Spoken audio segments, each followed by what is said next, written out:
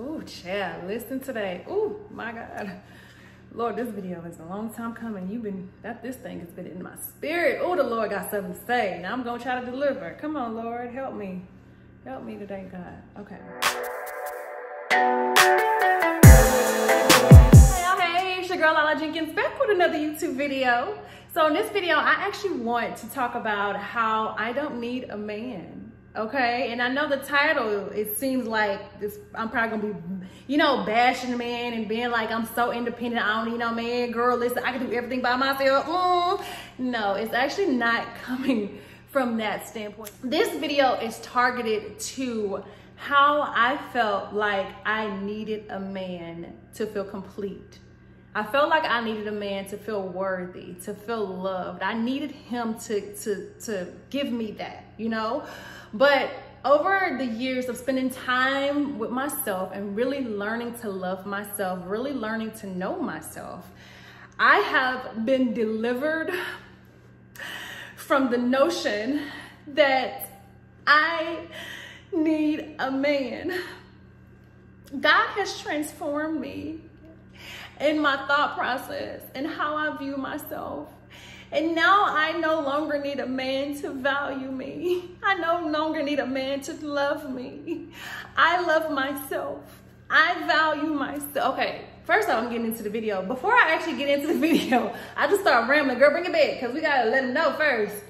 Before we actually get into the video, if you have not already, hit that subscribe button for your girl one time for the one time, okay?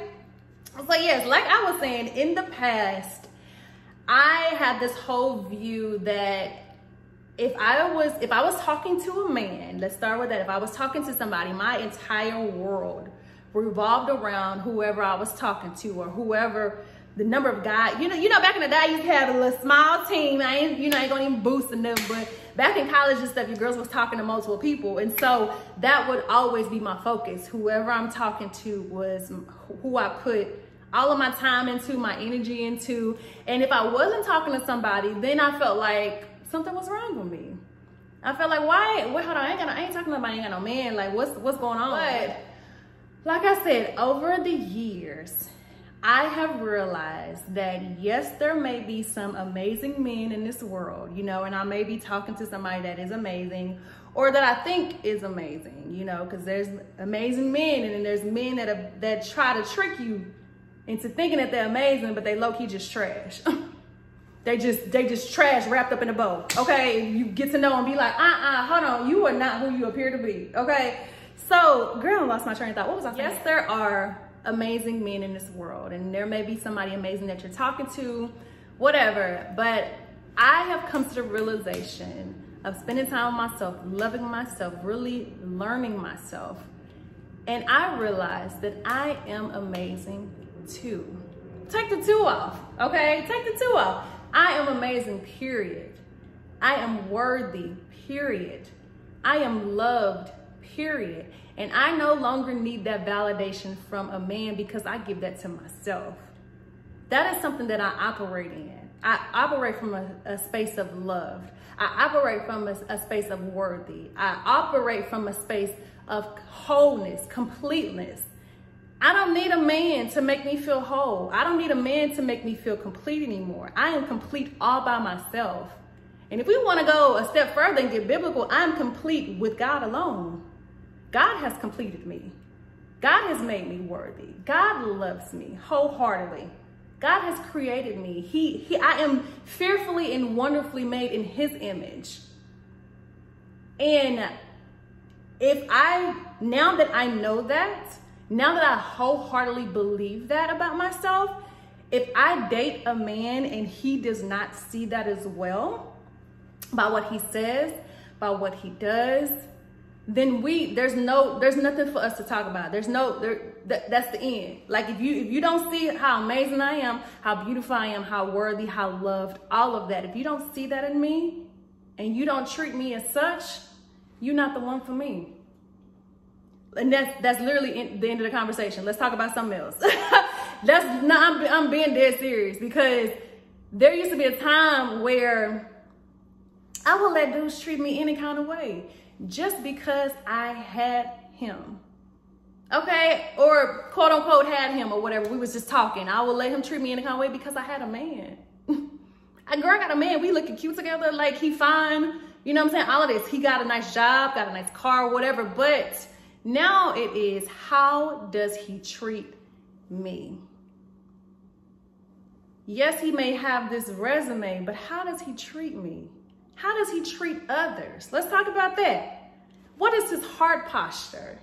I, am looking deeper than just the surface. Yes, I may have a man, but I need that to be a good man. Okay, I want a man, but I need him to be a good man. And I need him to be good in what he says and what he does and how he treats me. And if he's not willing to do that, then there's literally the end. Of, that's that's that's it. that's end story. Period. Next, cause you ain't it. And I wasn't like that. Back in the day, back in college and stuff, I was accepting any and everything just because I had somebody to talk to. Now I understand that wholeheartedly. I understand my value. I understand my worth. I understand everything that I bring to the table. I can I can list everything that I know that I bring to the table. And if this guy does not see that and he's not bringing stuff to the table too, there is nothing for us to talk about. There's no reason for us to be even communicating. I'm at that point where I'm just like, listen, I am not casually dating a, a guy that I know is not the one for me. I'm not just talking, I'm just, I'm not just talking to just talk anymore. I'd rather be by myself. I'd rather love on myself.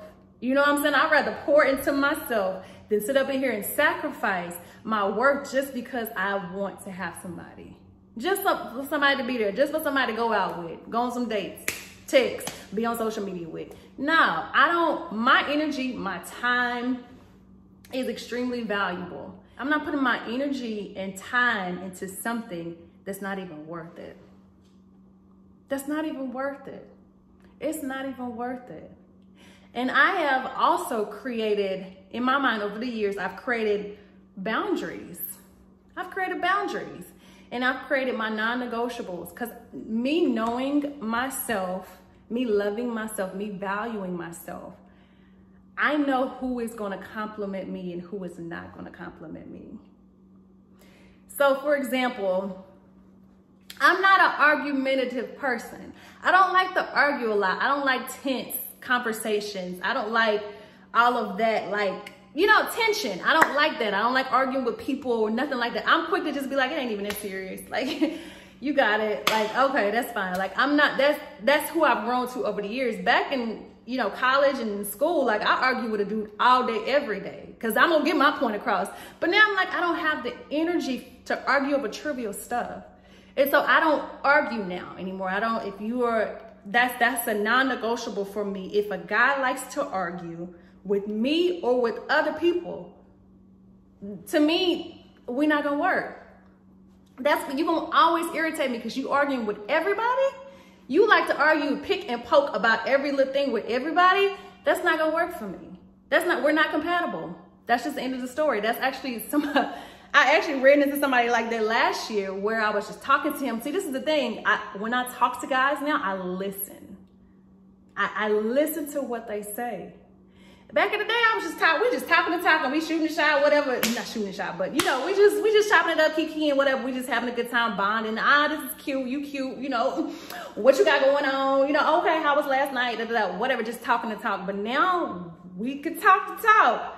But I'm I'm listening I'm listening and I'm studying you. Low key, not like really like taking notes, but I'm just kind of going along with the conversation, trying to fill you out, see what kind of person you are. And so I was talking to this dude, and we were talking about like politics and stuff, because I think this is when last year was when it was, was it that? It was last year, yeah, Biden and um, Trump were running and stuff. And so I'm just giving an example. He was a Republican, the other people were Democrats, and so it was like him and all these Democrats that were in the room. And he was just saying how he was purposely, pur pur purposefully, Lord, I can't talk, saying stuff to make them mad, to poke at them and try to get a reaction and just doing all of that. And he was just laughing on the phone with me. And I was like, what? What? What's the point of that? And he was like, nah, I mean, ain't no point. I just, you know, it's just, it was just fun to me. So you are low key setting fires. You low key trying to argue with people for fun? Uh-uh, bro, that's not, to me, that's not fun. To me, that's annoying. Like if I was with him and he was poking at different people about politics, that would have highly annoyed me. I would have been very irritated. So from listening to him say that, I was like, okay, that's, I was, I was taking notes. I was like, listen, that, that area were not compatible. So let me, let me go ahead. And it was, it was that area and the whole thing that I'm celibate. And I wholeheartedly believe that the man that God has for me is either one gonna be 100% celibate too, or he's gonna support my celibacy and be a, and be like, hey, you know, I'm gonna be celibate with you, whatever, you know. But the guy that I was talking to, that he was very argumentative. He also didn't support my celibacy. He just was like, no, you know, if you come over, I can't say that I'm, you know, gonna restrain myself and all this. And so that that was the final. I was like, uh-uh, uh-uh, that's the final straw. Nope, you are temptation. The Lord said flee from temptation, so I need to flee from you because you are not supporting my celibacy decision and you're gonna try to pull me in. So I was like, okay, so I had to let him go because of that. But I'm just saying, like, I feel like I wasn't always like this.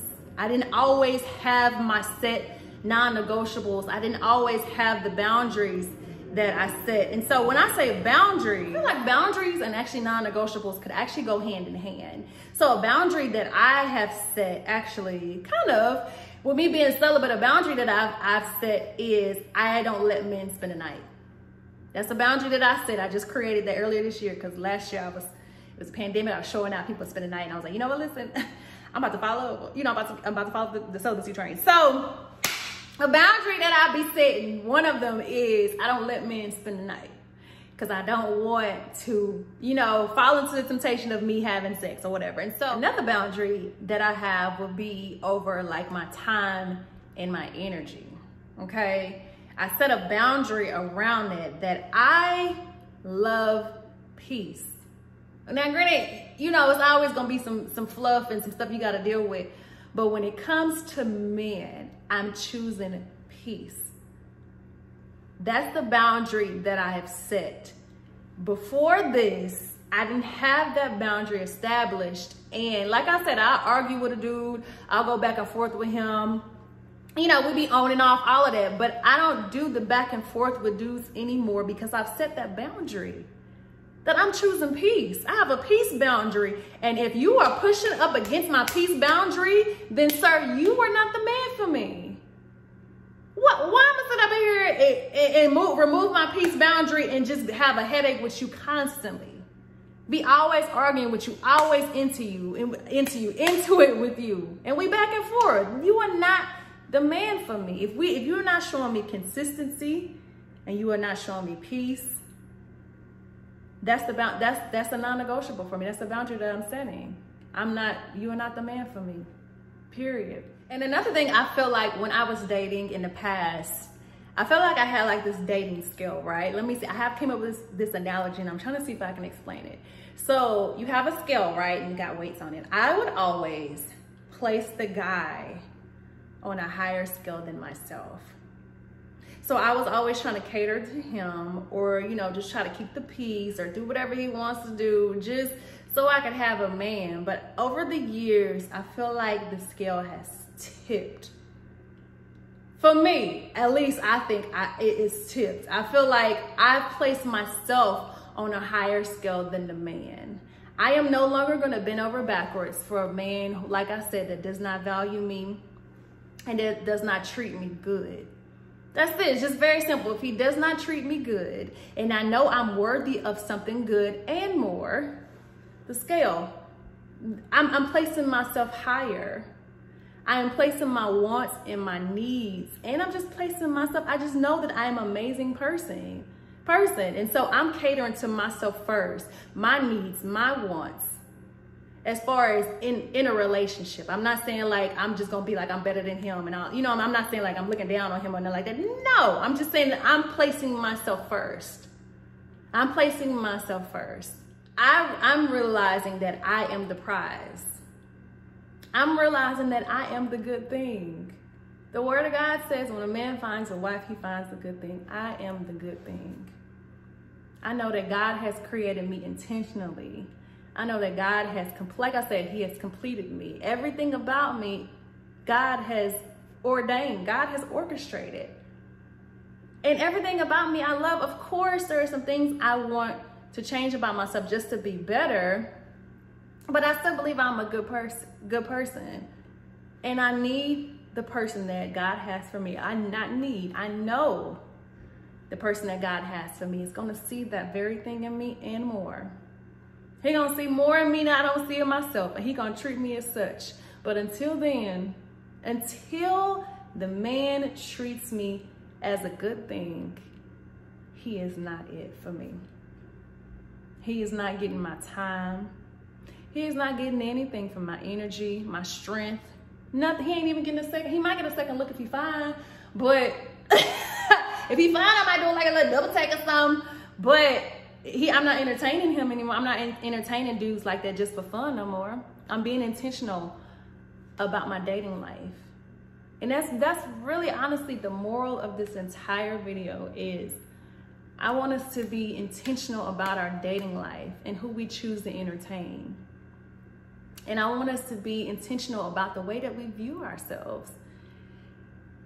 You because I feel like that's where it all stems from is how do you view yourself? And if I could speak to my younger self, ah, Lord, I would tell her so much. I would tell her that she is created in God's image and she is the daughter of royalty. Our Father is in heaven and he is king, which makes us daughters of royalty. I would tell her that she is loved, that she is valued. I would tell her that everything about her is beautiful. Every single thing, even the thing that you really don't like about yourself, is still beautiful because God created it specifically for you. I would tell her that she's fearfully and wonderfully made. And you know, I looked up the definition of wonderfully made in a dictionary and I actually didn't notice. But wonderfully made means that you are set apart and you are unique, which means you're not ordinary.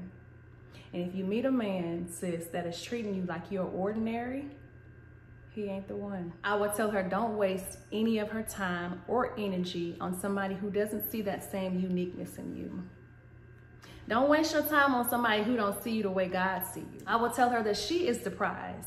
She is the good thing. Like I said earlier, the man who finds a wife finds the good thing. Sis, you are a good thing and you need to operate as such. You have the power. You establish your boundaries. Set your non negotiables. This is your life, sis. You have that control, you have that power. You can make the decision on who you talk to and who you don't talk to. And I don't want you to ever feel like you're trapped into a relationship or you trapped into a situationship with somebody that you're not even married to. Somebody you ain't even got no union with, no covenant with. Girl, if he ain't showing you, if he ain't giving you what you need, you need to get out and go the other way. Y'all ain't married, and you need to create a list on what you will and will not accept from a man. And if you need some help with that list, girl, I got some things for you, okay? Number one, do not entertain somebody who does not take you serious. Do not entertain somebody who does not take you serious. And don't entertain somebody who doesn't make you feel special, who doesn't show you and tell you that you're special. And don't entertain, this is the last one. This, we need to write this down. Do not entertain somebody that God said no to. And everybody doesn't hear God audibly, but you can feel.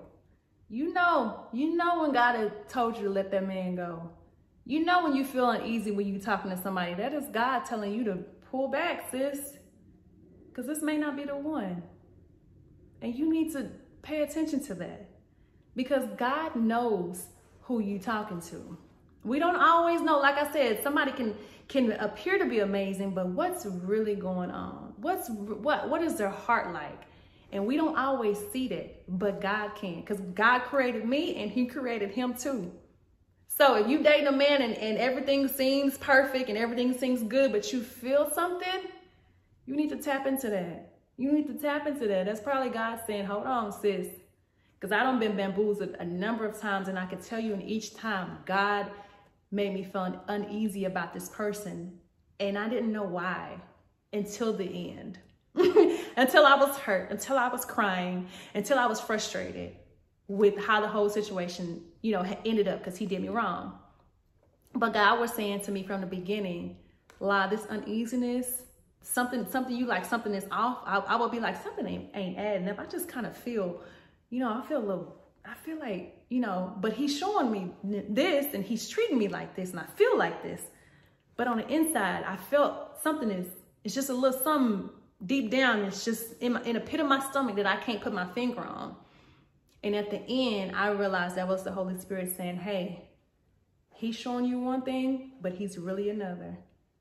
And you need to you need to tap into me so I can let you know when he is showing when he, you know, when there's another side of him. And one more thing, don't get caught up in the superficial. Don't get caught up in what you see and you know what he does. And maybe if he got a little clout on social media or something, don't get caught up in that. Look deep down. Look deep down in his heart. Like i said when i was when i listen to guys and i talk to them i don't just talk to talk. I don't just listen to listen. I really process what they're saying because a lot of times if you listen to what a guy is saying to you about somebody else to somebody else whatever if you just listen to him you can tell his heart by his conversation and so I want us to really tap into that. Let's look past the fineness, the tallness, whatever, you know, whatever that's, that's first initially drawing us to him. Let's look past that and, and see what is his heart posture. Is this really a good man? Is this really somebody that God would approve of me dating? And if it's a no, sis, cut it off. And if I could get biblical for a second, God has way too much for us to do to be wasting our time on trivial situations, to be wasting our time on people that God didn't even want us connected to. God got so much for us to do in his kingdom, but it's a number of his daughters that are distracted by these men that God didn't even say yes to. God didn't even say yes to. There's so much work to be done, but we wasting our time in situations that are becoming distraction, distractions. I'm up here stuttering, can't even talk. Listen, enemy, you, I'm gonna talk. Okay, we are up here, got the enemy got us distracted and we are not able to fully do the Lord's will. And so I just want us to tap into our discernment when, when dealing with men. That's all I want. That's all I want with this whole video. Okay, well, that's really, listen, that's all I got to say. I pray that something that I said, you know, blessed you. I pray that you feel loved and worthy and whole from just this whole conversation. Thank you so much for watching. Don't forget to like, subscribe, and comment. Bye.